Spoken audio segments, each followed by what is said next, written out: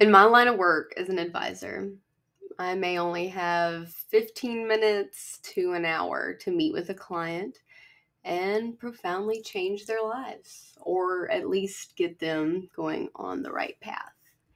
Hi, my name is Jessica, and I'm a political scientist and spiritual advisor. And today I am going to be sharing with you some of the challenges that some of my students have had and kind of explaining to you um, the philosophy's not boring. You probably just had a boring teacher, just to say it normally. There is um, so much profound wisdom in philosophy, and sometimes meeting with those clients, it just takes like one nugget of information to really trigger something within them that's helped them change. For example, um, a lot of times we'll be carrying around burdens that aren't even necessarily ours. Maybe you're you're feeling this way right now. Perhaps you're you're worried about like two people maybe not getting along, or worried if this is going to happen, or obviously we have a lot going on. It's 2024 election year, and I'll I might have to say to that person is, hey, you have the option of not having an opinion on this. and the shoulders relax and it washes over them that feeling of like, oh yeah, I, I could just choose not to engage with this. So that is not all me um, a lot of times I'm just the vessel for that knowledge, and it comes from my study of philosophy a lot of times. And so today we're going to be going over some common frustrations I hear, and also some of my students and clients that are interested in like deep, deeper thought or want to know where I get the different wisdom I drop on them from. And I tell them it's philosophy, and their eyes glaze over, and it's like, oh no, that's scary. And it doesn't have to be scary. So, and also, um, I normally have a book if you've seen any other of my videos, but today I'm just kind of, we're going to be storytelling more or less. I should also say that philosophy itself is love of wisdom. And I know you love wisdom because you clicked on this video. And I hope you'll subscribe and like it because it's super fun around here, I promise. okay, let's get started. One of the first frustrations that I hear is the complexity of the texts themselves.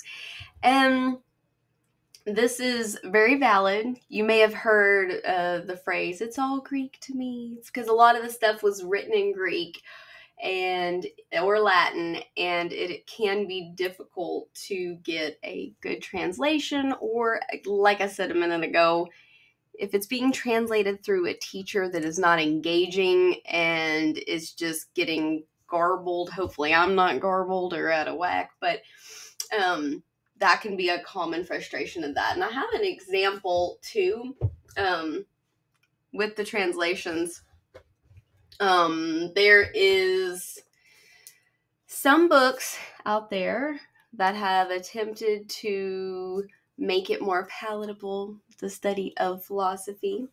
And this book as a this was a gift i have to mention from my dear client and friend. And it is play oh Plato and a platypus walk into a bar. So it's like a fun little cheeky title and stuff like that.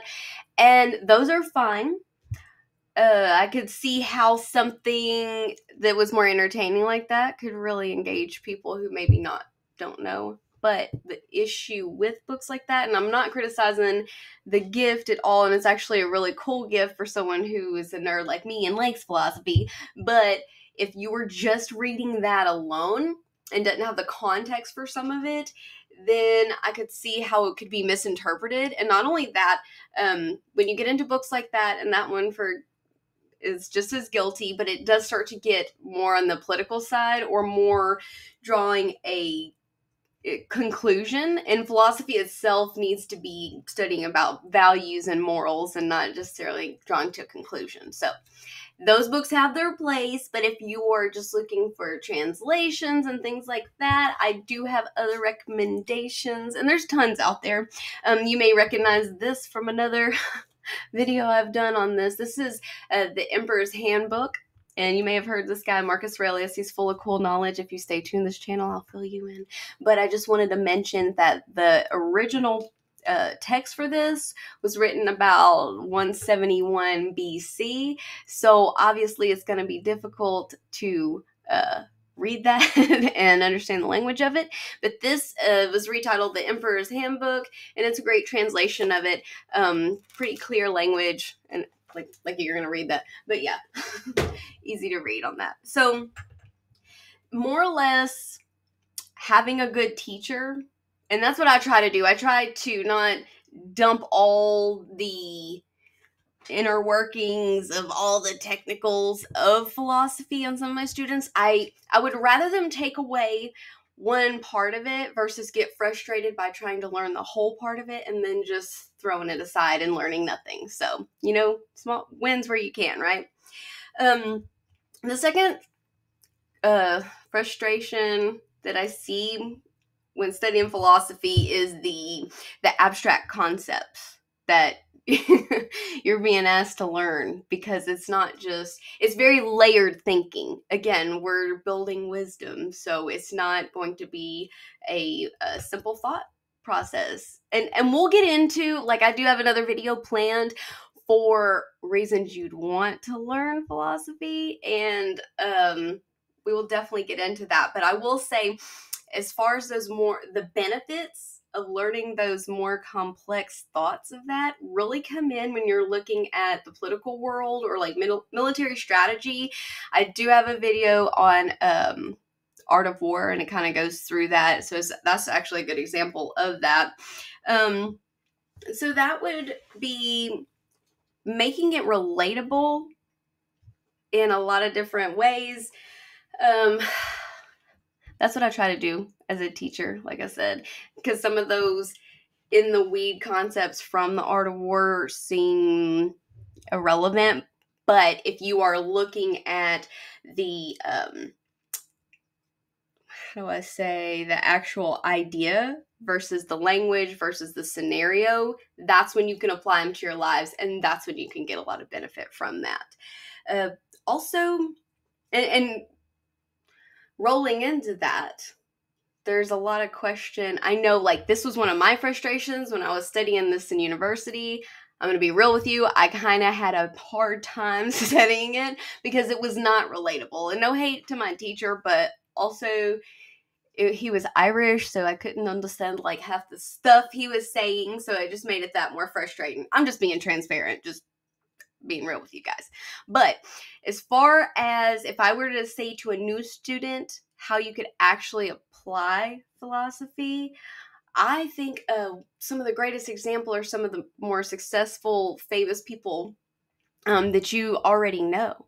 Um, for example, one of my favorites is something on fire. Jesus, got that firebug aesthetic going. Let's try this with the better vessel. Now, two of my favorite examples when it comes to modern day philosophers are number one, the late great Kobe Bryant, R.I.P. Kobe. Um, he is amazing as far when you actually look at his dedication to his craft but not only that but where he was mentally in order to uh, achieve the greatness that he did during his life. And um, he calls it Mamba mentality. I would totally suggest looking up on YouTube. Um, one of my favorites from him is Boos Don't Stop Dunks. That's right, kids. That is if you are working at your craft and you are sinking the basketball, if you are dunking on them, boo, let them boo. It's okay. It's okay. Another great um, person that I've found a lot from their um, just their talks on YouTube as well is Terry Crews, the actor.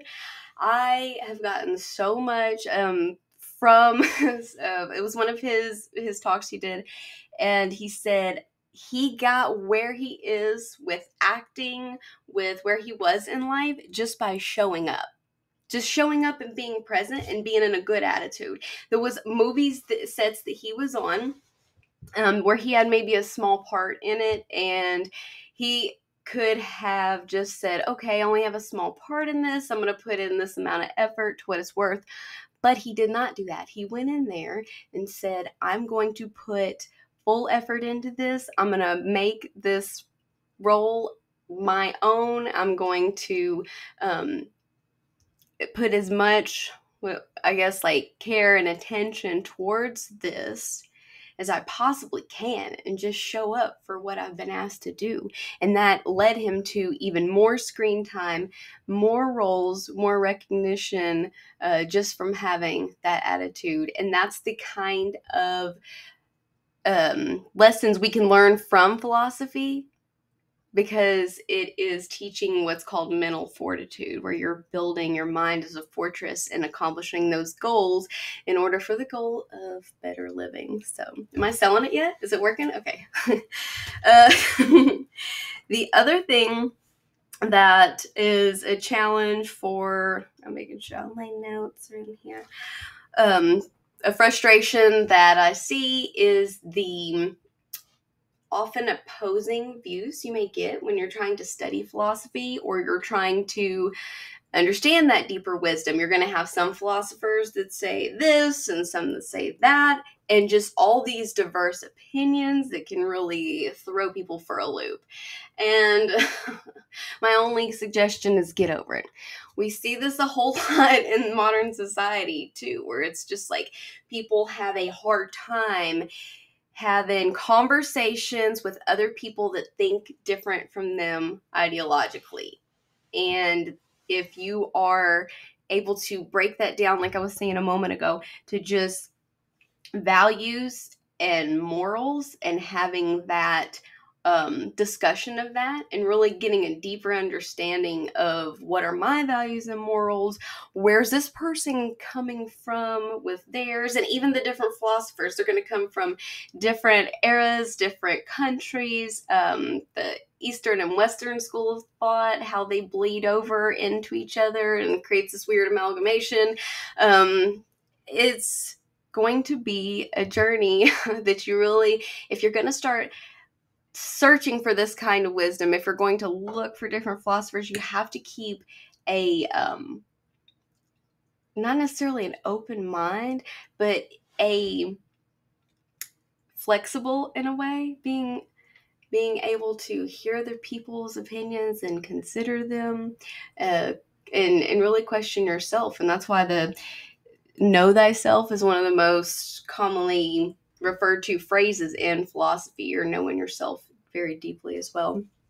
Um, the other part of this, and it's not as much since we have the internet now, but it um, it can be very isolating if you are the only one within your circle that is having deep thoughts, that is wanting to discuss this, that's actually wondering, like, you know, amor fati. What what that means? Like I accept my fate. And actually, that goes. Hold on.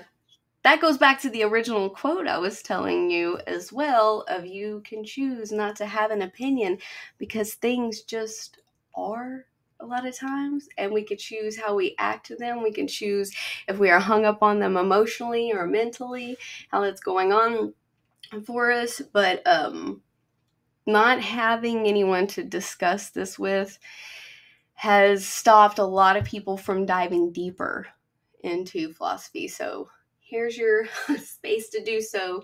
Please subscribe if you do want to have that community and we can talk all this stuff together and kind of do practical application of philosophy because really that's that's what this channel's uh, aim is and I also had, um, you can go look back in the history if you'd like. I also had a crystal shop, metaphysical shop, where I saw clients there, and it was really like the gift shop to my philosophy school.